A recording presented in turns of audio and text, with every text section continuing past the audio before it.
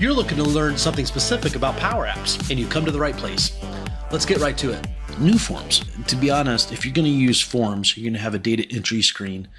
Um, you're going to use the same form control for edits and new records. So what they're doing is they're breaking down these concepts into separate screens. A lot of times you're going to have the same form allow the entry of new records as well as the editing of the existing records. So I just wanted to point that out. But let's go through these steps. Set items of the gallery 10 to filter where there's no country. Okay, so we'll go here.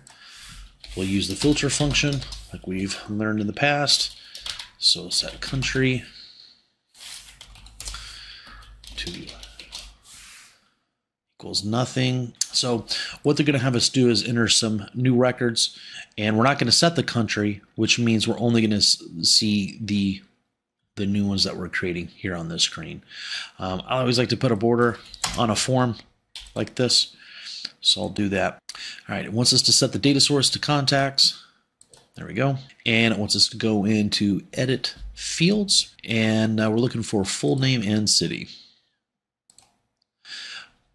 And just let you know, you might deal at some point in the future where there are dozens and dozens or maybe hundreds of columns. So just know that you can use this search at the top here. City, there we go. So add those two. And also know while you're using a form, you can, if if a particular field is something like a phone number um, or uh, multi-line text, you can select one of these other things here. Okay, I just wanted to mention that. I'm to exit out of that. So we've done uh, step number two. Step number three, we're going to add a, a save icon. So I'm going to add just any icon, bring it down here, go to add, type in save. We're going to find the save icon that we would like. All right, and then on the on select right here, we're going to say submit form and the name of our form on this screen is new form one. And we're going to put a semicolon in there, and then we're going to add another statement, which is reset form. And that reset form is going to get that form ready for yet another new record. So, form one.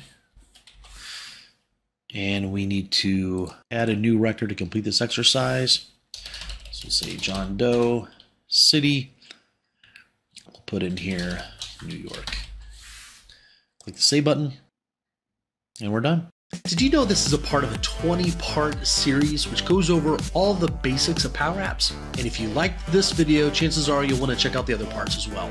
I'll put the links down below to the playlist for all the videos and also the main video as well. If you're looking for something specific, let me know in the comments. I read and respond to all the comments that are left on my videos, so be sure to let me know. If you found anything in this video helpful, we would really appreciate you click on that like button.